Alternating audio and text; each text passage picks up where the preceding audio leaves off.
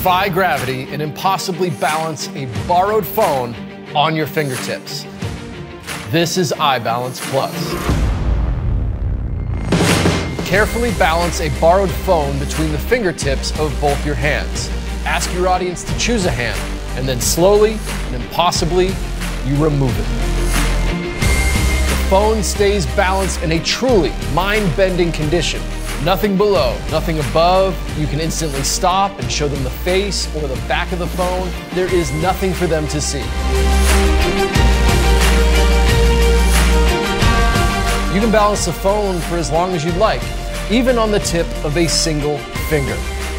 And when you're done, you can immediately hand the phone out for examination. iBalance Plus can be used with any smartphone and uses no magnets, no adhesives, or any suction devices.